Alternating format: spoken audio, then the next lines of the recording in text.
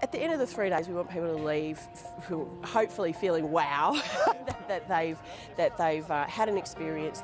I think each person will take away something different. You know, it's it's always like that. I guess that um, you can have a presenter like Karl, and some people took away some really hard, heavy science um, messages, and other people took away what a fabulous entertainer he is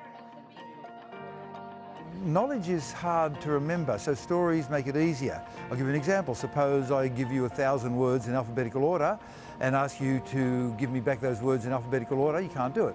But the story is about how I ran into Kim Kardashian and then we went to a sauna and then Kanye dropped in and then we had Tay Tay and everybody was very friendly and we had little drinks with umbrellas.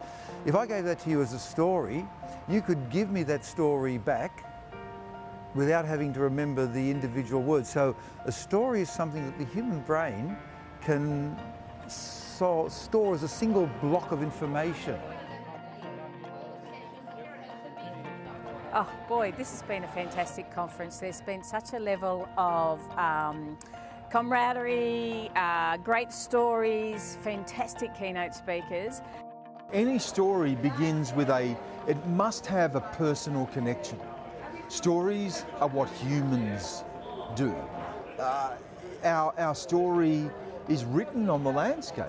From the first time that people emerged out of Africa and began the journey around the world, we've left our stories on the landscape, in caves, on mountains. You know, Australia's story is written in rock art and in the Opera House. I'm here to, I guess, uh, connect with, with Landcare and connect with LLS um, across New South Wales. It's just a fantastic opportunity to get everybody together at, uh, at the one event and, and, share all our stories of what we're doing uh, you know, right across the state they're getting an experience that makes them feel valued, that encourages them to, to look at their partnerships and build their, you know, and also that their relationship is stronger for being here, that their relationships between land carers and between Landcare and local land services, um, that we've built some genuine personal connections between people. So it's just lovely to come together and reconnect and hear stories and, and just brainstorm ideas. Like I've come, come away from this these last few days connecting with people and saying, yes, we should do this and let's create this project next year. Well, the conference uh, has come together through a very enthusiastic group of Murray Landcare and local land service people in the Murray region.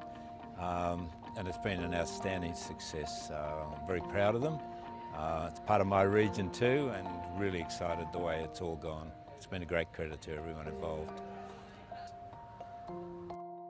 But it all makes for a really happy crew of people who are really happy to meet and engage. Um, there's been a really positive feeling about the relationship that's developing in a much stronger way between local land services and grassroots land care. And, and that relationship is working right up to the top, to the level of um, Landcare New South Wales and the Board of Chairs, which is just wonderful.